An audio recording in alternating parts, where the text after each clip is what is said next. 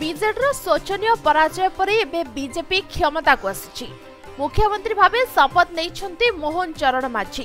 ନୂଆ ସରକାର ଗଠନ ହେବା ପରେ ଚାରୋଟି ବଡ଼ ଘୋଷଣା ମଧ୍ୟ କରିଛନ୍ତି।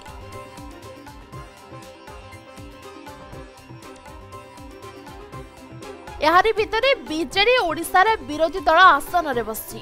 ତେବେ ବିଜେଡି କାହାକୁ ବିରୋଧୀ ଦଳ ନେତା କରିବ ସେ ନେଇ ସବୁଠି ଚର୍ଚ୍ଚା ଚାଲିଛି।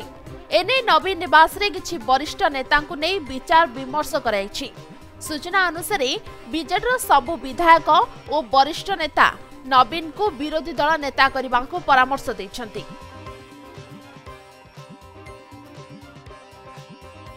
ତେବେ ବିଜେଡି ସୁପ୍ରିମୋ ବିଧାୟକଙ୍କ ଶପଥ ଗ୍ରହଣରେ ଏନେଇ ନିଷ୍ପତ୍ତି ନେବେ।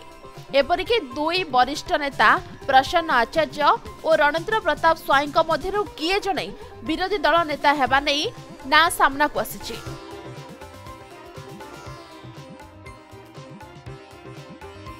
ଗୃହର ନେତା ଭାବେ ମୁଖ୍ୟମନ୍ତ୍ରୀଙ୍କୁ ଗତ ପାଞ୍ଚ ବର୍ଷ ଭିତରେ ଖୁବ୍ ସ୍ୱଳ୍ପ ସମୟ ଦେଖିବାକୁ ମିଳିଛି। ଏପରିକି ସେ ବିରୋଧୀ ଦଳର ପ୍ରଶ୍ନକୁ ମଧ୍ୟ ଶୁଣି ତାକୁ ଉତ୍ତର ଦେଉନଥିବାରୁ ଅନେକ ସମୟରେ ଅତୀତରେ ଅଭିଯୋଗ ହୋଇଛି।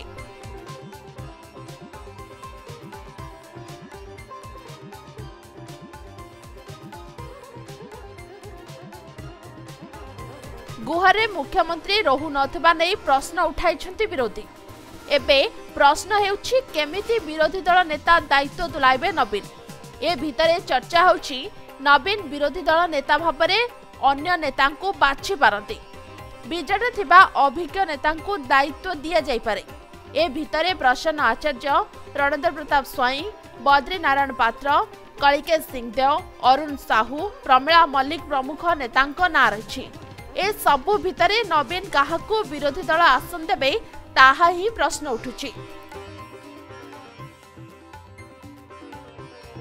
ବିରୋଧୀ ଦଳ ନେତା ବିଧି ଅନୁସାରେ ଜଣେ କ୍ୟାବିନେଟ ପାହ୍ୟାର ମନ୍ତ୍ରୀ ତାଙ୍କୁ କ୍ୟାବିନେଟ ମନ୍ତ୍ରୀ ଭାବେ ରାଜ୍ୟ ସମସ୍ତ ସୁବିଧା ଦେଇଥାଏ। ଏଣୁ ଏ ପଦବୀ ପାଇଁ ଦଳର ବରିଷ୍ଠ ନେତାଙ୍କ ଭିତରେ ଆଗ୍ରହ ରହିବା ବି ସ୍ୱାଭାବିକ। କିନ୍ତୁ ଦଳର ସଭାପତି ଭାବେ ଏହା ନିର୍ଭର କରୁଛି ନବୀନ ଖୋଦ୍ ଏ ପଦବୀ ରଖିଛନ୍ତି ନା କାହାକୁ ହସ୍ତାନ୍ତର କରୁଛନ୍ତି। ବ୍ୟୁରୋ ରିପୋର୍ଟ ସମୟ ଲାଇଭ୍।